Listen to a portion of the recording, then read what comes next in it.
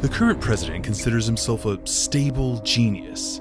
Does this sound like a stable genius to you? Yosemites, Yosemites. America needs a leader who is stable and flexible, a leader who is supportive of its citizens. This November, cast your vote for a new kind of leader. Okay, so look. A tripod has three legs for stability, so it won't weeble wobble at press conferences. It's made of heavy duty aluminum, so you know it can take a lick. And it's black. Remember how fun it was to have a black president? This November, vote for Tripod. It's black, and it's not Trump. This ad was sponsored by the Coalition of Common Damn Sense.